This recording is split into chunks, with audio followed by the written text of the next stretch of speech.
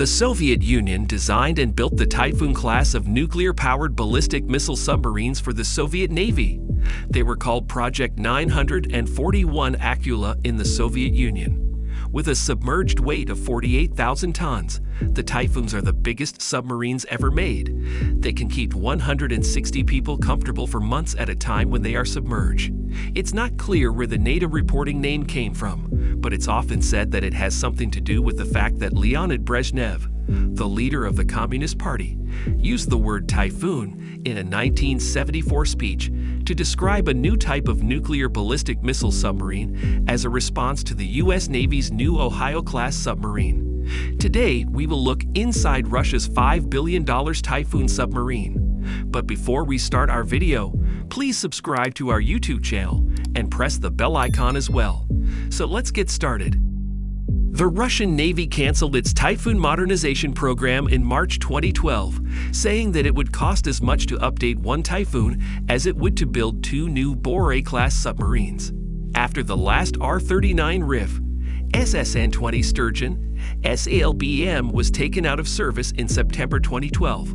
Only one Typhoon, the Dmitry Donskoy, was still in service. It was equipped with the more modern RSM-56 Bulava SLBM and stayed in service until the Typhoon-class ships were also equipped with six torpedo tubes that could fire RPK-2, SSN-15, missiles, or Type 53 torpedoes. Normal conditions would allow a Typhoon-class submarine to stay underwater for 120 days, but if it was deemed necessary, it could stay underwater for even longer, for example, in the case of a nuclear war. Their main weapon system was made up of 20 R-39, NATO, SSN-20 ballistic missiles, SLBM, that could carry up to 10 MIRV nuclear warheads each. Technically, Typhoons could launch their long-range nuclear missiles even when they were docked.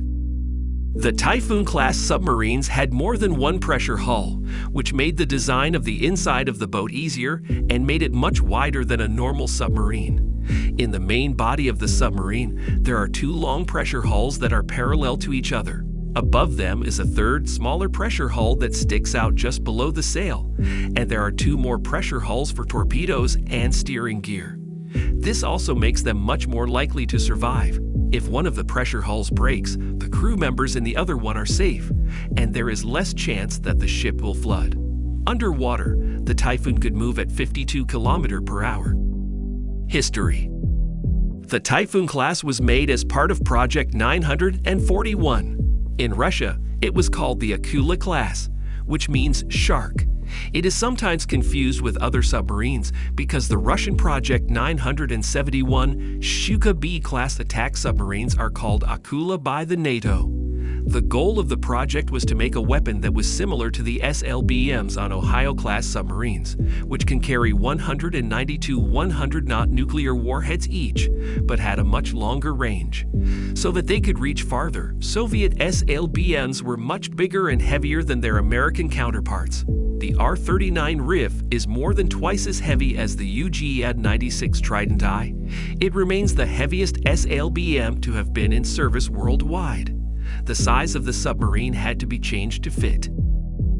At the beginning of the 1990s, there were also plans to turn some of the Typhoon-class submarines into cargo ships that could carry oil, gas, and other goods under the polar ice to Russia's far northern territories the submarines could carry up to 10,000 tons of cargo and send it under the polar ice to tankers waiting in the Barents Sea.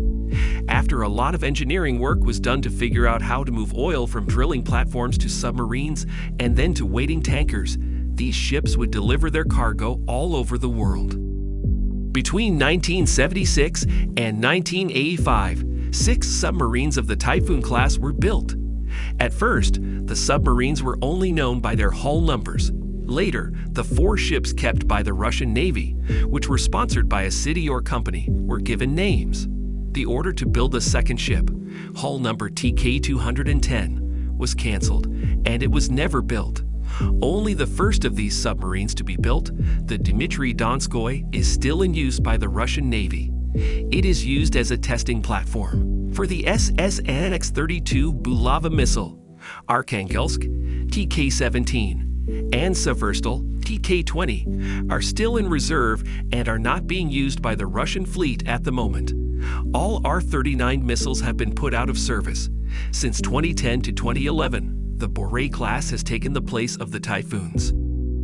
At the end of December 2008, a senior Navy official said that the two Typhoon class submarines in reserve, the TK 17 Arkhangelsk and the TK 20 Severstal, would not be given the new Bulava SLBM missile system.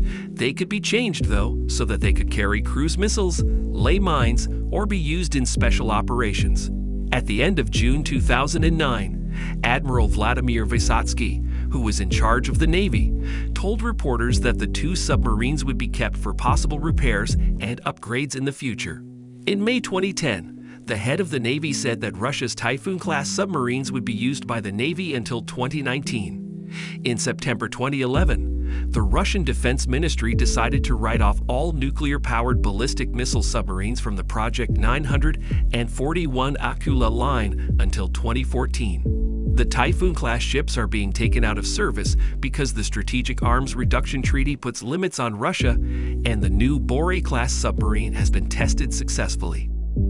Even though the Borei class submarines replace many other types of submarines, they are shorter than the Typhoon class. 170 meter instead of 175 meter, and have a smaller crew, 107 people instead of 160. Part of the reason for making these changes was to cut down on the cost of building and maintaining the submarines. Also, the United States and Canada gave 80% of the money to scrap the older Typhoon class submarines, which made it much cheaper to build a new submarine. However, other sources at the Russian Defense Ministry say that no such decision has been made, in which case the submarines would stay with the Russian Navy. In 2013, the state-run news agency RIA Novosti said that starting in 2018, the Navy would get rid of two Typhoons. They were called the TK-17 Arkhangelsk and the TK-20 Severstal. As of 2017, it was still not clear if the TK-17 and TK-20 would be taken out of service. On July 20, 2022, it was reported that the submarine Dmitry Donskoy was taken out of service by the Russian Navy. This seems to be earlier than expected, since it was previously said that the submarine would stay in service as a weapons testing platform until 2026. However, other sources said that a final decision on what would happen to the boat had not been made. So that's it for today. We hope you found our video interesting. If you did, please give it a big thumbs up and share it with others. Also, if you haven't already, please consider subscribing to our channel. Don't forget to turn on the notification bell so you don't miss any of our new uploads. In the end, thanks for watching and see you next time.